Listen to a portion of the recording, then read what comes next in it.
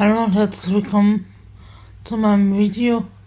Heute ist der 23.11.2020. Ähm, heute ist Montag. Heute war die Volkshilfe da. Sieht man auch an meinen Haaren. Die sind frisch gewaschen. Zwar irgendwie platt, aber trotzdem sauber und weich. Ähm, heute war nachmittags Corinna da und ich habe ihr die traurige Mitteilung gemacht, dass ich mich entschieden habe, sie im Jänner zu kündigen. Ähm, ich habe es nicht wegen ihr gemacht, sondern wegen mir, weil ich das Gefühl habe, dass ich jemanden in meiner Nähe brauche, der spontan da kommen kann und nicht eineinhalb Stunden Anreise hat und der ähm, einfach etwas reifer ist, aber nicht zu, also nicht, nicht über 30, aber, aber auch nicht zu kindisch oder so. Und ähm, ich fand das für sie nicht fair, dass sie fast alles an Geld an, in Zugtickets investiert hat und nicht sicher war, dass das Geld wieder rauskommt ähm, bei der Steuererklärung. Und ich habe sie in der letzten Zeit nicht gut behandelt weil ich einfach schlecht drauf war und im Winter einfach immer irgendwie gestresst bin und depressiv und ich weiß nicht. Und das wollte ich nicht weiter für sie.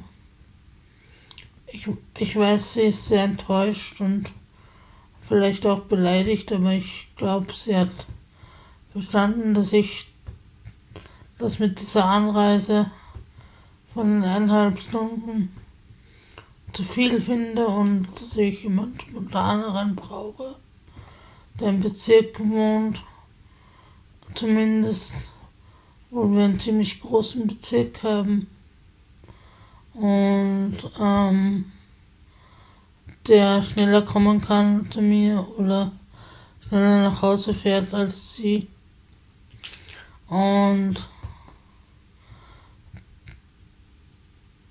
das hat jetzt äh, im Endeffekt dazu geführt, dass ich sie nur noch bis Jänner behalte und dann mich nach einem anderen umschaue, ähm, der in meiner Nähe wohnt.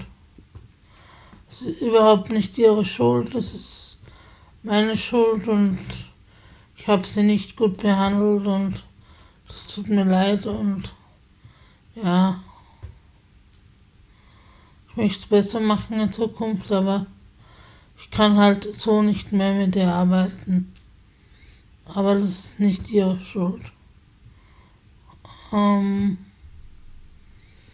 außerdem verstehen sich meine Eltern nicht gut mit ihr. Und das ist auch so ein Druck, Druck der, der mich sehr belastet und sehr viel zum Nachdenken bringt. Und ähm, ich habe mir die letzten Monate genug den Kopf zerbrochen, wie ich das mit ihr organisieren könnte, dass ich sie nach Hause schicken kann, wenn das, wenn es mir reicht oder zu viel wird. Und das ist einfach nicht möglich. Ich kann sie nicht, wenn sie um halb eins kommt, um zwei schon wieder nach Hause schicken. Ähm, oder halb drei und, und das wäre nicht gut. Ähm, der restliche Tag waren wir spazieren. Und sie ist dann um halb drei nach Hause gefahren. Und hat sich noch mit einem Freund getroffen, mit dem sie über das reden wollte. Sie war sehr traurig, ich war auch traurig. Weil ich habe mich ja nicht aus Boshaftigkeit von ihr getrennt oder von ihr Arbeitsverhältnis beendet, sondern weil ich mir einfach unsicher bin, ob sie die richtige ist. Und